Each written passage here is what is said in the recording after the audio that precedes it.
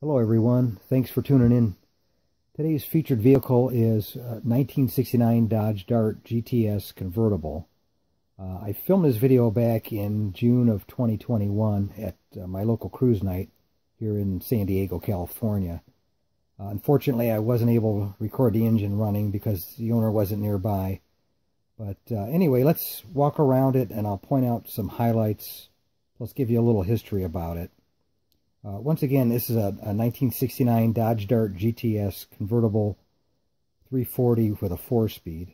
Uh, the 340 motor puts out about uh, 275 horsepower and about 340 torque, uh, plus a four-speed, uh, the A833 transmission.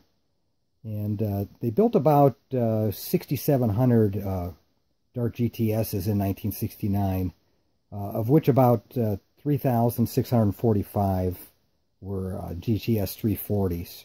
Uh, I'm not sure the numbers for the convertible and the four-speed, but uh, that was the only breakdown I can find.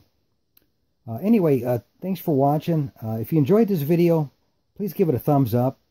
If you want to see more videos like this one, check out my other videos. Right now, I have over 400 videos available to watch.